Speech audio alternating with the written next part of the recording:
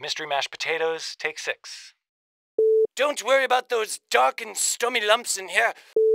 I've solved the mystery of what stinks in this fridge. It's me! Trust me, I'm still scrumptious. Or at least edible. I smell foul!